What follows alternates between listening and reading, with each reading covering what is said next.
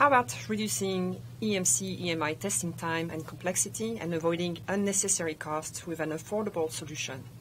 To help with that, Tektronix just released an all-in-one, easy-to-set-up pre-compliance and debug solution compliant with CISPR and MIL standard standards called EMCVu. Engineers and technicians said setting up the spectrum analyzer to do EMI is not easy. So Tektronix created an easy-to-learn wizard for pre-compliance with built-in getting started steps to guide users in the process of setting up the spectrum analyzer with accessories for EMI pre-compliance. The application supports both radiated and conducted pre-compliance test setup. Users can either configure their own accessories or choose the ones Tektronix have pre-selected and validated for them. In the case of performing radiated tests, two types of antennae are needed. The application provides a chart showing the impact of the accessories losses or gains. These are taken into account during the rest of the measurement. If users choose their own antennae or accessories, they can enter their contributing loss or gain as either constant loss, loss table, or also antenna factor. These values are taken into account during the measurements. Also, these tables can be saved as .csv files for reuse. The wizard also provides a number of built-in emission limit lines for CISPR-based standards. Here is an example of all the tables supported from the EN 55011 standard document. We support other EN standards, FCC, and MILGov standards. You can preview the limit lines and the margin before starting the measurement. In regard to the measurement, you have the choice of three measurement approaches. You can accelerate the CISPR-based measurement by deciding on what failure you want to apply the time-consuming quasi-peak detector by selecting pre-scan plus manual spot on failures. You can also choose to have it automatically on the number of failures and or do a complete scan with the detector of your choice. This wizard also includes a configurable reporting tool. You can enter user environment and device under test information. Later, this video shows notes and pictures can be captured for each experiment. Once all the settings of the wizard are in place, you can select Setup Complete Run Test. Then your spectrum analyzer is configured and the me measurement is initiated. We have selected a pre-scan in peak followed by manual measurement in quasi-peak. The results of the pre-scan show a number of signals in the results section of the display. In red are the signals failing the limit, and in orange is the signal failing the margin. Other signals within the threshold and excursion are noted in blue.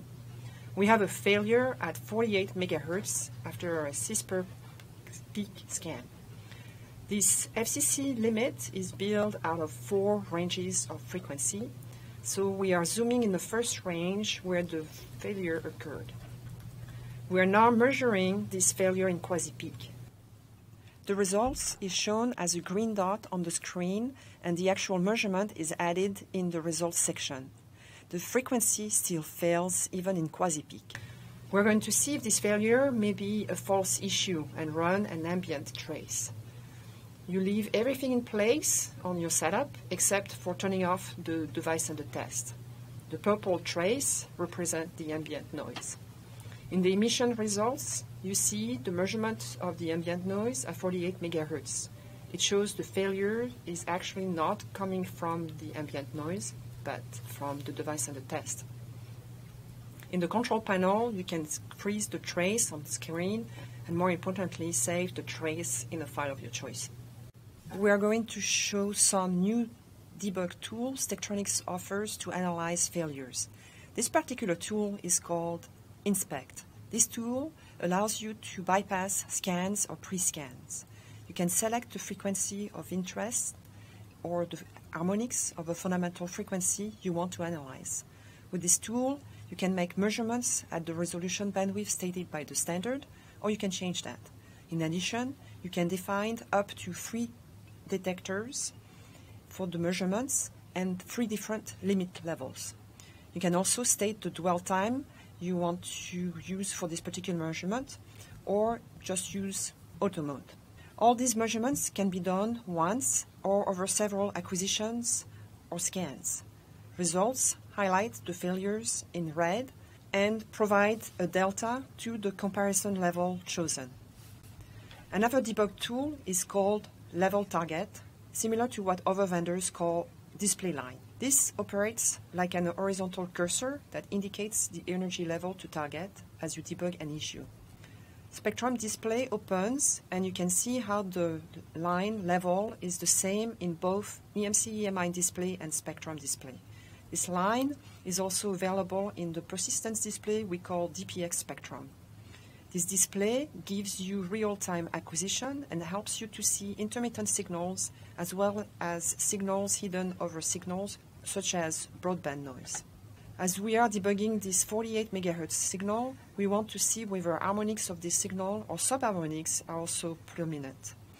To help with that, we are now offering the capability to link our markers so that they are placed at harmonic frequencies of a fundamental frequency. In this case, we select 48 MHz as our fundamental and we place markers at half, second, third, and fourth harmonic. The actual readings can be seen in the marker readout table on the right side. Lastly, this application includes a configurable reporting tool. User will need to choose a title to name their experiment, then they can capture notes regarding that experiment. They can also add images of the test setup including analysis control setting as well as the measurements results, including the inspects results are pre-selected for you.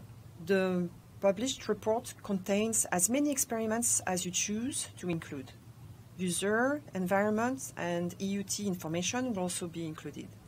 When you generate the report, you will see several sections that correspond to the test setup and the different experiments you opted to report on.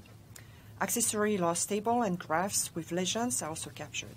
The report can be saved as PDF file or multiple other formats, including RTF file.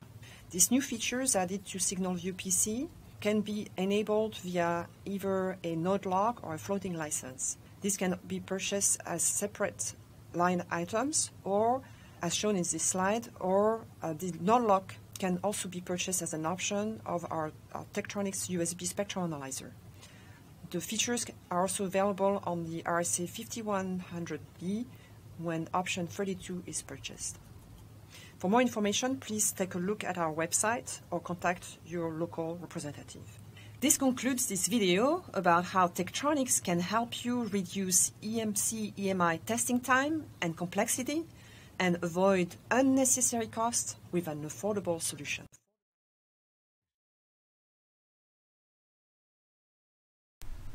Find out more at Vicom's website.